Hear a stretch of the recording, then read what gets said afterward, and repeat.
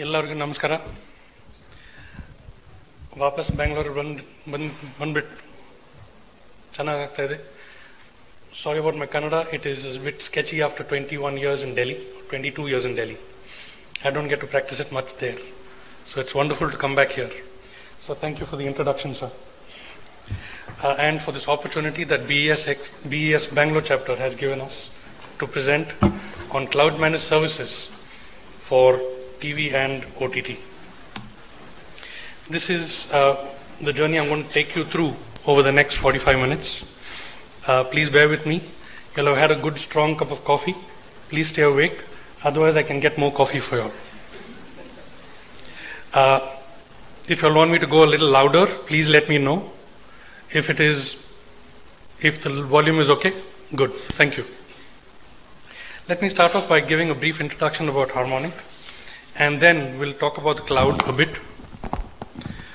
Uh, what is the cloud? A lot of people think it is cumulonimbus or uh, other kinds of soft candy, but a small introduction to the cloud and the different types.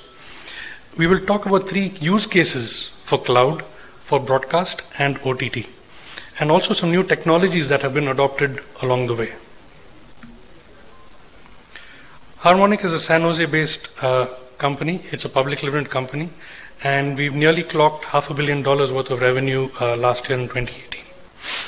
Uh, we spend approximately 20% of our revenue on R&D, and that's why we are at the cutting edge of uh, compression technology, uh, which be it HEVC, be it UHD, or be it virtual reality and 5G as well. Two main businesses, we've always focused on our core competencies, which is uh, video and cable access. Uh, you will see some of our clients over here across the world spanning the video and uh, the cable access. Our mission is, as we mentioned over there, to provide smarter, faster, simpler video streaming solutions to media organizations across the world and how to compete with the OTT market as well. These are our offices uh, globally. Our regional headquarters for APAC is in Hong Kong, and then we've got uh, the Middle East offices and across uh, Europe and the US. We also have a sales and support offices in India. India is in Bangalore, sorry, in Bombay and in uh, Delhi. So, bulk of our manpower is into support, into uh, support which is technical assistance center, which is remote. Then is the local support, the regional support as well.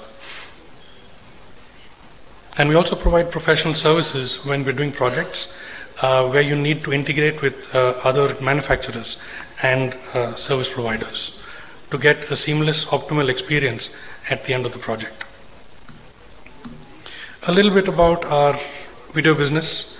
Uh, as you all know, that uh, OTT streaming business is accelerating really fast, and Harmonic's presence in the content production and playout, uh, in the mm, uh, distribution domain, and in the media processing domain, be it for broadcast, delivery, or OTT delivery, is pretty strong. So we actually have quite a few of our Indian clients over here as well.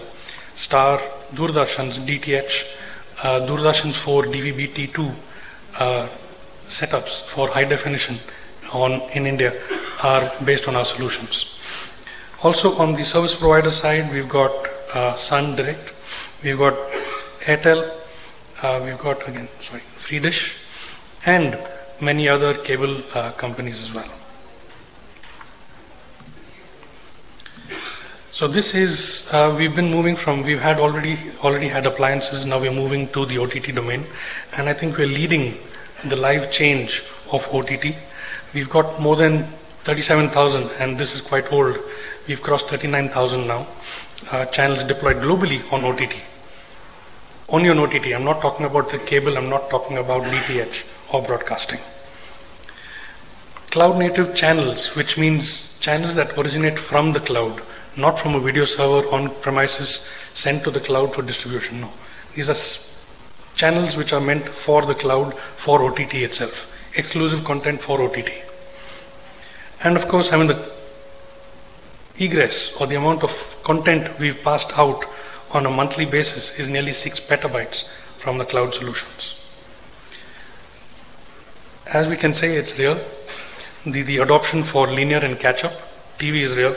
Linear is what we see today, and catch up is if I missed my 9 o'clock uh, uh, program last night, how do I kind of see it again at a later date? It's possible to do that, and this is happening right now. This is a crucial part where uh, service providers need a winning combination to address new formats that are con- constantly coming up with OTT uh, and live streaming. So OS 11 brought about a new this thing. The iPhone 10 brought about new technologies that needed to be addressed. You have YouTube coming out with uh, uh, 8K.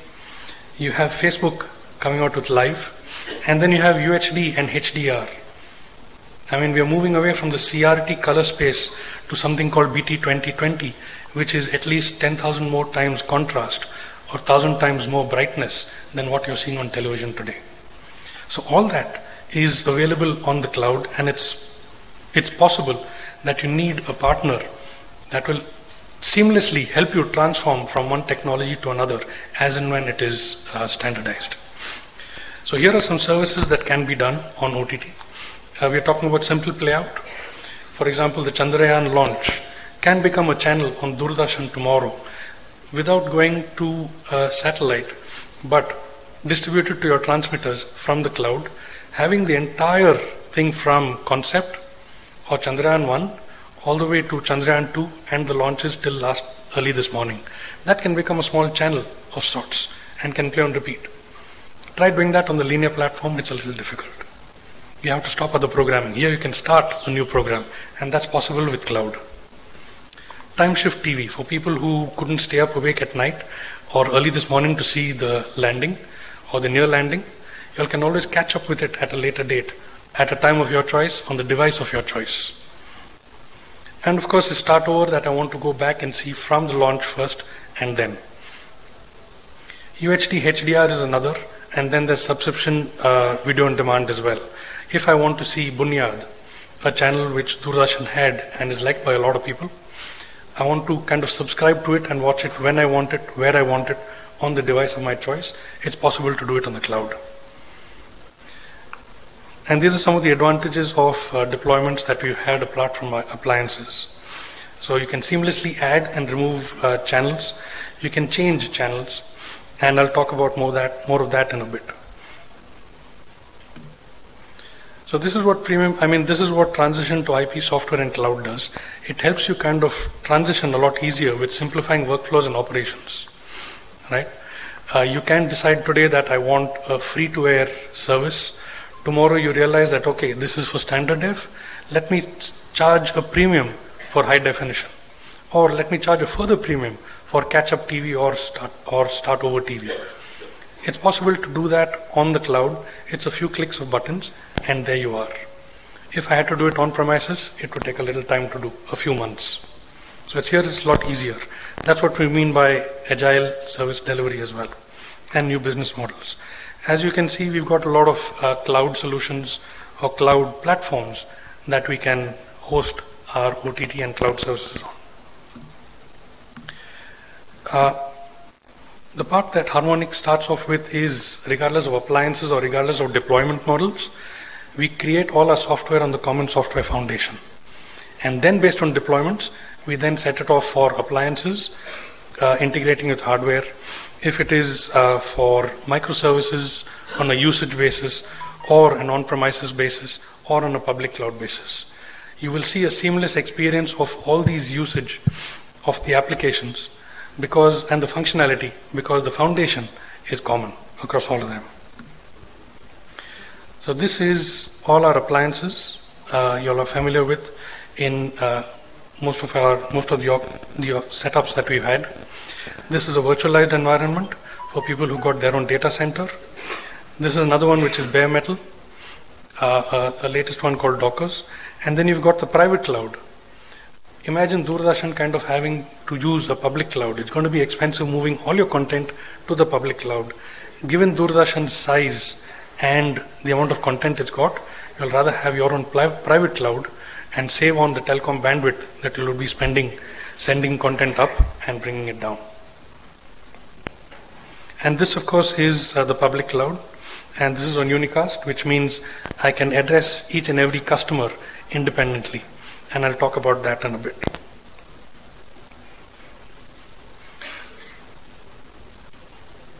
So, I mean, uh, introduction to the cloud in the sense a lot of people said cloud is somebody else's computer. It's true. Cloud is somebody else's computer. But then they're maintaining it, they're managing it, and they're hosting their application for you, which means your headache is reduced. All you all are doing is operating the application. And so commercially, it gives you a lot of advantages in terms of starting to spin up a lot more services at a low cost and faster. For example, I mean, let's assume a week before the Chandrayaan 2 was about to land, uh, MIB comes back and says, let's start a channel for Chandrayaan. If I had to do it the regular appliance route and the tender route, I'll have to wait for Chandrayaan 3. Sorry. Sorry. But if I could do it to the cloud, one day. One day. I could start a channel, upload the content, create the schedule, and play it out.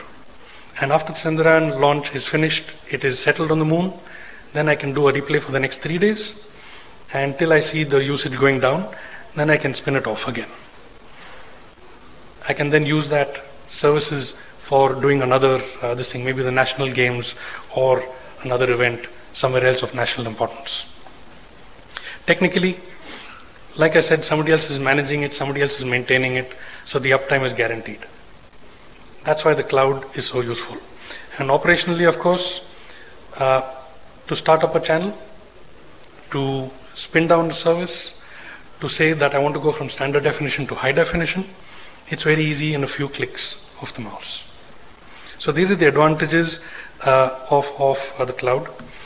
And based on this, we've created our solution called the VOS. Our entire end-to-end chain of media processing from acquisition to delivery, including monetization, is now that you'll have seen on appliances is now available on the cloud in a native cloud environment. It's not like I took a video soft video server software from an appliance and then ported it onto computers on the cloud. It's a difference in in, in uh, infrastructure and technology and protocols, which is why we built one from the cloud itself. As you can see here, ingest from live and file all the way to CDN delivery uh, and everything in between is, is managed uh, through this VOS solution. So what we've done is we've taken some of the Harmonic DNA, over 30 years of experience of Harmonic, be it in OTT encoding, be it in IPTV encoding, be it in content monetization through ad insertion, for example, be it in playout, and dealing with video on demand content or live content. We've taken all that expertise of the last three decades and integrated it with the state of art technology on uh, be it Docker, be it uh, Kubernetes, or be it the microservices and uh, cloud to give you the VOS solution. So these are the business value propositions. Uh, since this is a technical gathering, you can take a look at it. I can give you as a sales pitch. I can do that a lot later. There's much more that you all can do with the VOS than I'm going to talk about. Uh, multiple offerings. One is an on-premises version for clients who have a lot of content, who have a lot of bandwidth going back and forth, up and down, uh, and a lot more requirements than somebody who has two channels. If I had to do, if it wasn't Doordarshan at the size of Doordarshan who had to do the Chandrayaan, I would then go to the public cloud and do it. But if I had an on-premises version, it would be because uh, there's a lot more compute, a lot more storage, a lot more bandwidth going back and forth, and workflows dedicated to Doordarshan rather than using a public cloud. Here you would see the difference. On the public cloud, it is managed, maintained, and hosted by Harmonic, which means you have one neck to catch, and that's mine. Right? If anything goes down, I'm the guy you run to. On the VOS software cluster, since this is installed in your data center, you will be managing it as well. But on a back-to-back support, again, it's my neck that you can catch. This is an entire end-to-end workflow that you would see of the cloud, not very different from what you all have been accustomed to on appliances. So we have our IRD farm out here to downlink all the channels into a central location, for example, in DDK in DDK Delhi, downlink all the channels, and then sorry, and then process it, and then play it out to either DTH or DVB-T2. Same thing happening in uh, Todapur or in uh, DDK Delhi. Now you can do this on the cloud, where this is also is as a service. So Harmonic can provide downlink as a service with all your IRDs, with all the IRDs, get all your feeds, process all your feeds on the on-premises cloud, and then send it either to OTT or be it to DVB-T2 cable or DTH or IPTV. Right?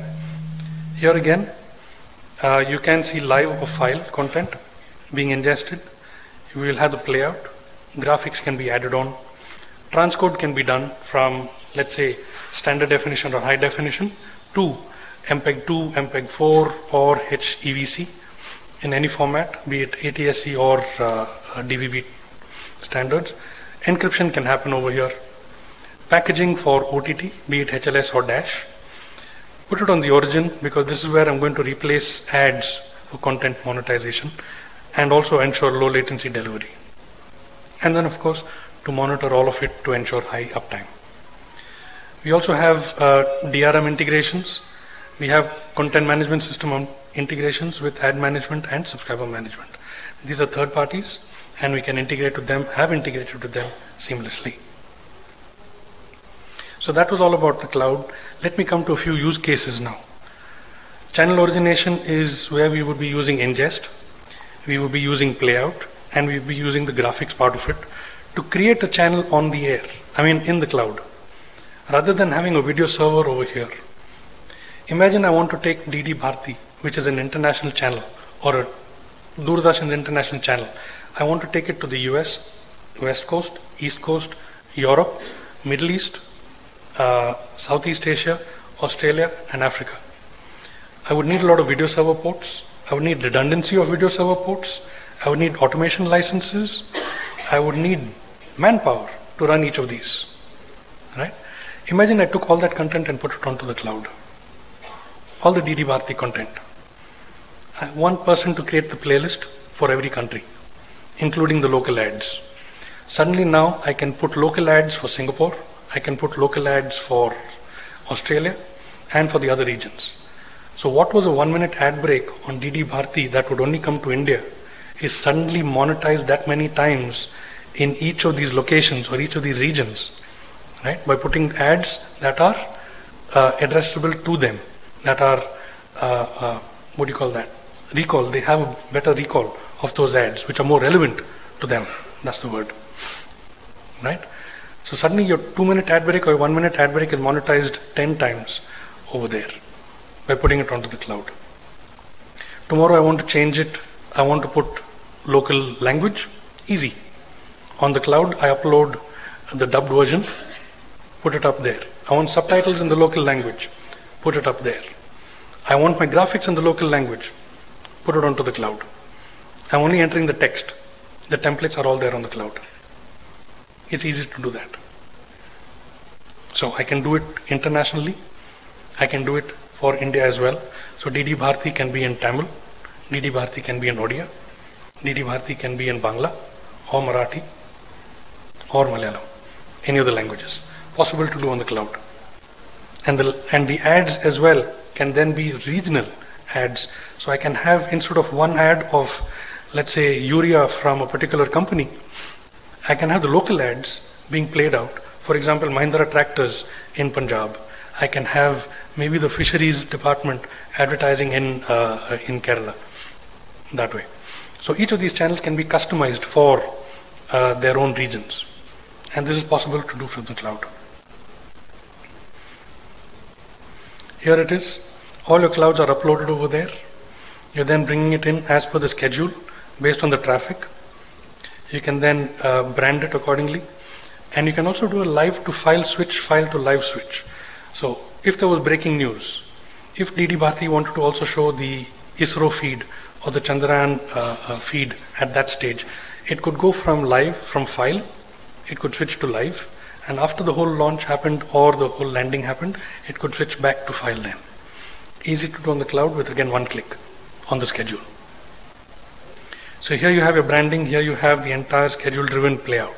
And this is available on a software as a service basis, which means as a SaaS basis. So you only pay for what you're using, not for everything else.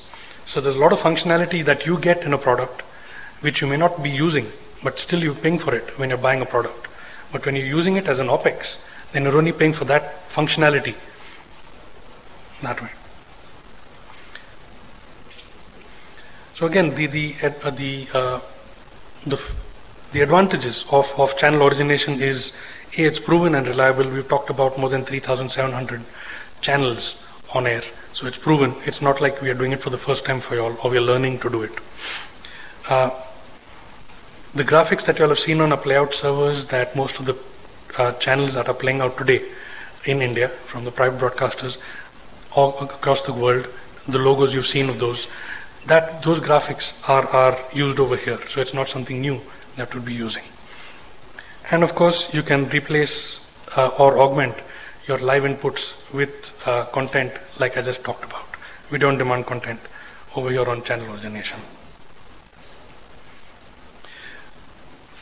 Now that you've created a channel on the air, I'd like to talk about how to then spread it across to the various other uh, uh regions, either in India across your various transmitters or internationally as well.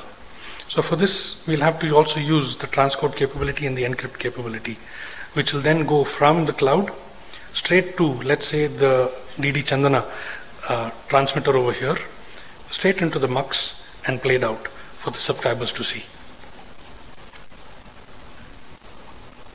Uh, over here, we do it for DVB.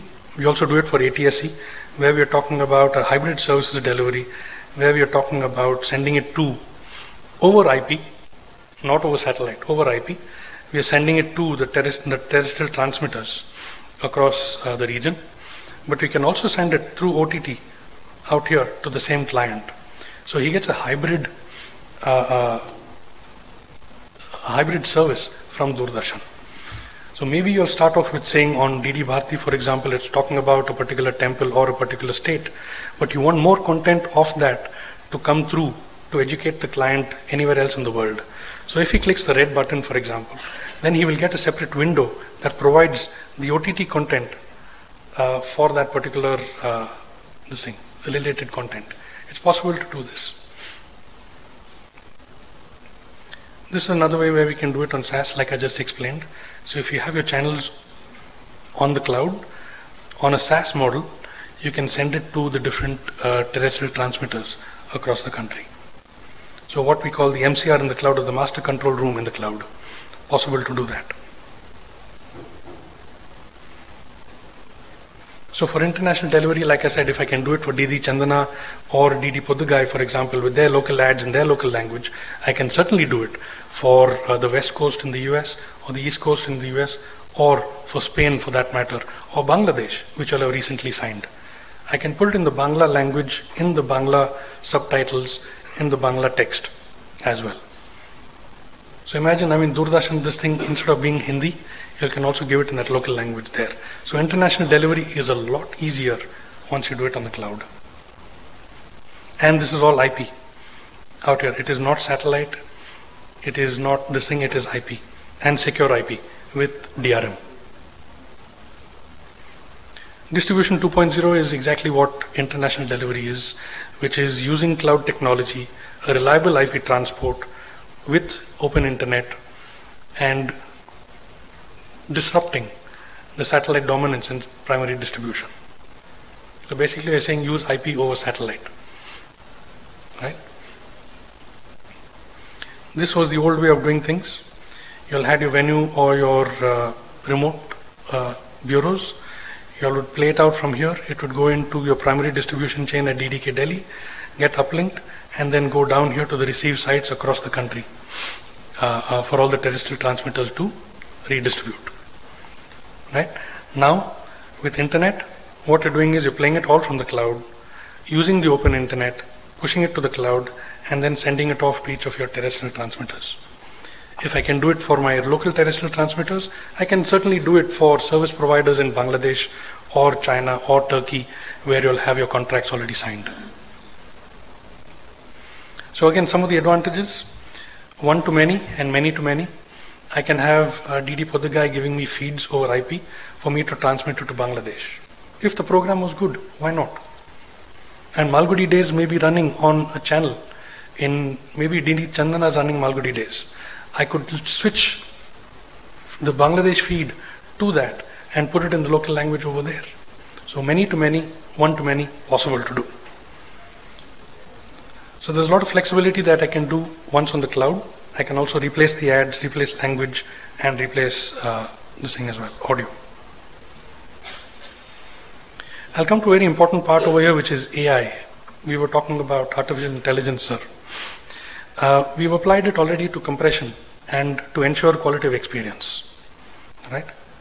Sorry, three types of AI uh, that we uh, have implemented already dynamic encoding style, dynamic resolution encoding, and dynamic frame rate encoding. Now, for Doordarshan DTH, for example, and for a long time, as I've read from the press releases, that there was a satellite space availability issue. If our head end was there, sorry,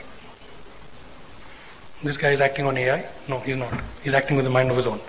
Uh, if we had our head end at Freedish, the one with this uh, technology incorporated, we could save at least 20% bandwidth, right?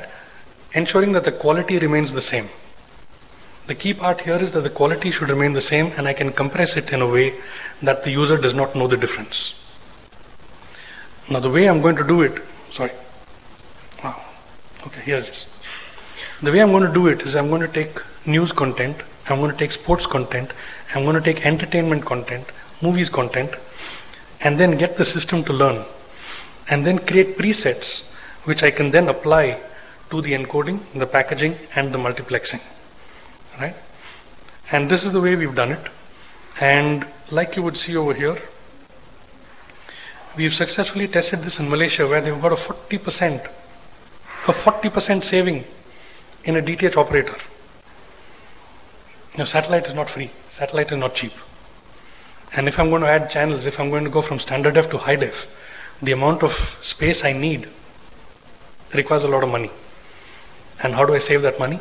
If I can, within the same bandwidth, save content or save that bandwidth and put more content onto it, then it's a win win for all.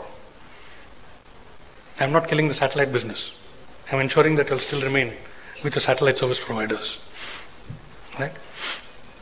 On dynamic resolution encoding, for let's say IPTV for example, if I have the bandwidth available, I can go from 480p or a standard definition signal and give the customer a high definition signal within the same bandwidth based on AI. What does that do? It ensures that he remains my customer for a lot longer. It's very difficult to get a customer. It's very easy to lose a customer.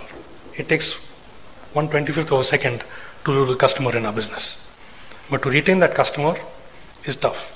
And here we've got solutions to do it to ensure that they stay on. And dynamic resolution encoding enables with that. OTT today, right now, is on the mobile, but there are a lot of us who want to see certain content. I would have loved to see the Chandrayaan on a big TV through OTT, right? In high definition, in ultra high definition, with the amount of detailing that the cameras have on the moon, moon probe. I would love to see it on the big TV. Can I do it? And what bandwidth would I need over OTT if I had to see it in high def?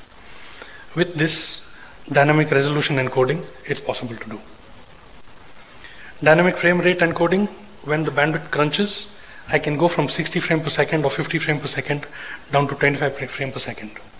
The point here is I do not want the client to see a buffer to happen. I don't want him to see pixels.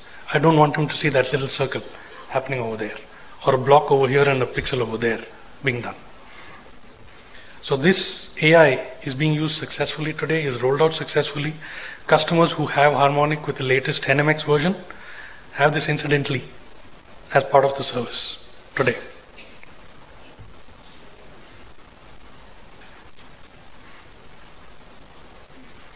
So I talked about the uh, the AI assisted encoding. This is how we do it. This was the offline lear learning mode where we kind of did the test file, we did the analysis, and then we came out with the prediction model, right? And then we applied that to the encoding core through the prediction model with the video analysis and then gave it out. In the case of Australia, the one that we talked about, because they had MPEG 2, that's why we got a 20% saving.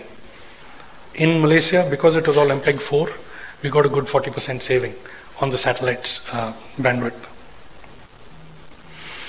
My presentation has a mind of its own. Let me try controlling it. Here is how it did it.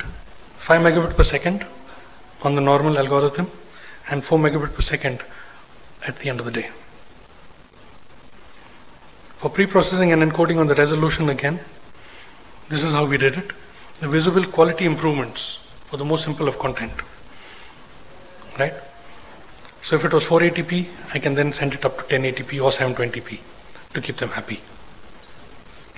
Here is a small picture that you would see of 1080p where if I'm starting to get pixelization because of issues or I know that the network is going to create a problem, I will reduce the resolution but create, I mean keep the same bandwidth.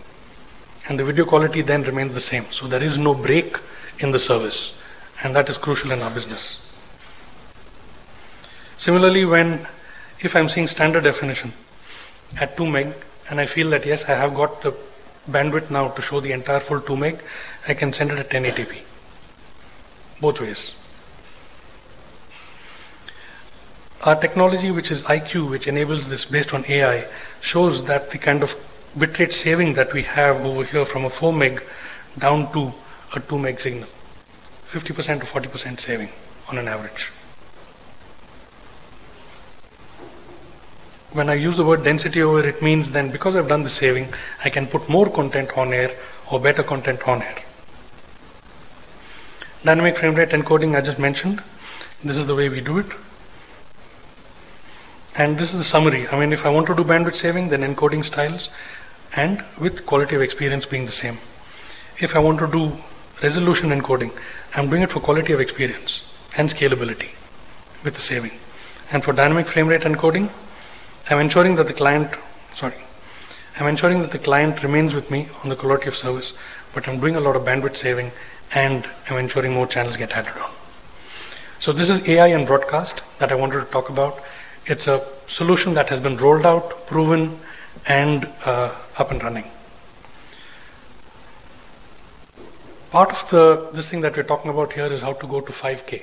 What do we need to do to go to 5K? Are there any use cases for 5K? We've done a POC recently, as recent as the French Open, uh, which happened here. Over 16 companies got together to create this proof of concept.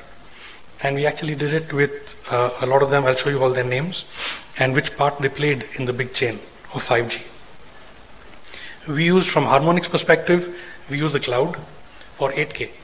So if I had to do it on on-premises, it would have been a problem. I had to do a lot of transcoding and compute and compression. So we had to do it on the cloud because this was an event that we had to spin on and then spin off after the event got over. So we also did a packaging of live broadcast content into VOD. So live to VOD was also created. And for file-based transcoding from catch-up content to VOD to create in high dynamic range as well because it's in 8K. And of course I have to export this file to in transport stream for DTH and for virtual reality. So the cloud, as in SaaS, to, to make my point, is supporting 4K today, which is UHD 1, but it also, on a spin, went up to 8K. And the whole point to this going to SaaS model was it took us less than a week to set up the system. Now this is the number of companies that worked together to create this. I don't know if I can zoom in here, but if you can see over here, we were talking about 200 meg streams that were going back and forth for 8K, right? And where we came in and all this blue part over here for the media processing was to bring it down to 33 meg. From a 65 meg live stream, we brought it down to 33 meg, keeping the video quality the same using our AI. So here we've got 5G phones. You got a 200 meg stream going from uh, France TV's transmitters. You also got uh, Spain, Orange in Orange in France, with in conjunction with France TV, sending it out to 8K tablets and to phones as well, which supported 4K and high dynamic range. Right. So these are all the uh, customers, or these are all the partners that were there supporting us all the way through.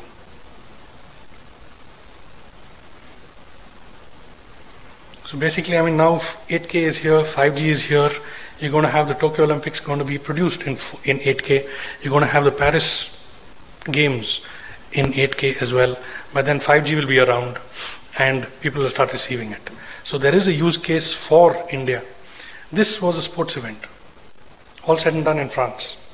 Imagine us doing it for the Republic Day, sir. The Republic Day of India, the best live event the country has done, does every year, year on year. Imagine doing it in 8K on 5G. I can see it, interact with it on my mobile, on my tablet, on my laptop, and on my TV. Interactive, as in, I can take my remote off the Android set top box, use it to scroll, pan, or tilt any which way I want, and I can see a good 4K experience on my device. Imagine seeing that of the Republic Day. Wonderful stuff. It would be nice to kind of do that. This, the AI part of it came to the 8K rescue, like you can see over here the resolution, which was all of 65 meg. All of 65 meg. We got it down to 33 meg, keeping the quality the same. Similarly for other uh, uh, things, and all this is in high dynamic range. This BT BT 2020, right? So you can see that we've nearly saved half the bandwidth and it makes it easier for us to transmit this content.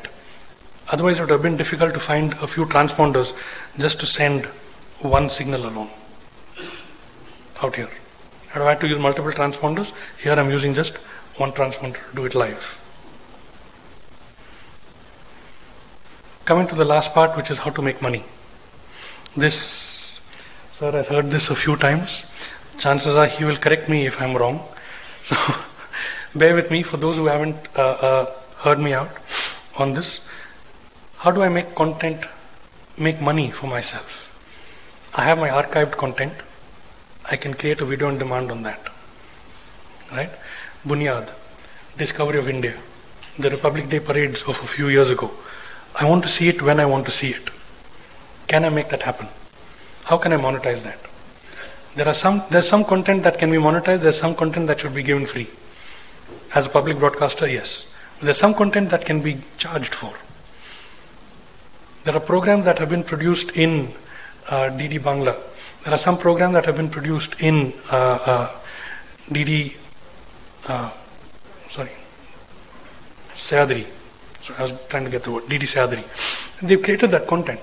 What if I can take that content and syndicate it to somebody else in Spain? What if I can take that content and syndicate it to somebody else in South Africa? Right? Family dramas are family dramas across the world. And if the story is good, I can create that content, put it to the cloud, and package it for them, and then syndicate it out with uh, uh, digital rights management.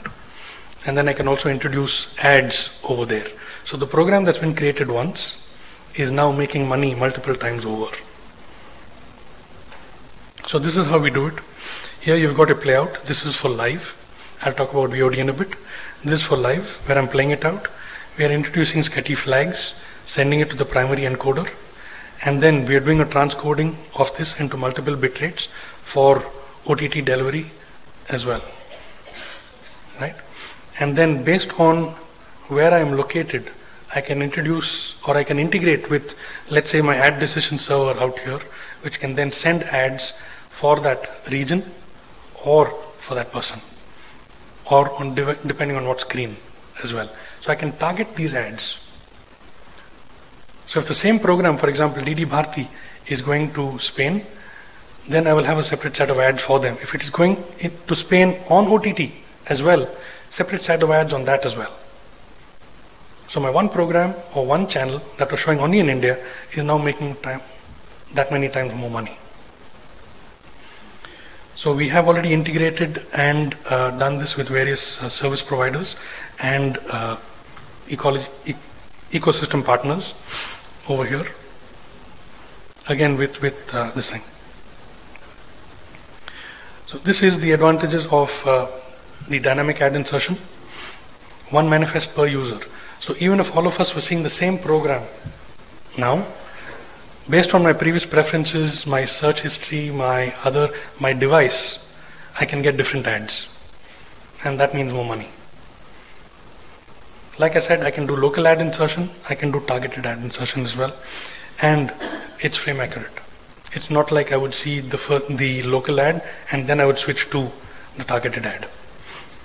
And of course, uh, there's accurate reports that would come out for uh, reports and auditing.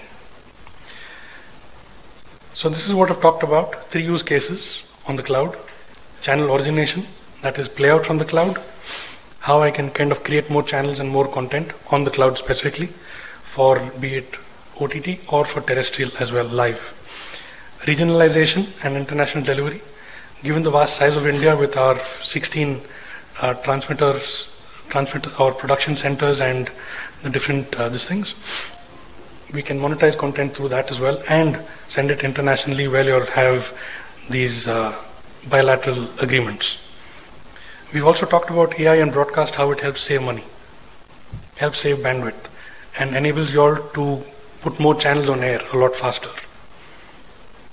And then there's 8K over 5G is real, is available today. And of course, content monetization. Thank you. It's nice to see the coffee was working. I'm not going to take credit for that. Thank you.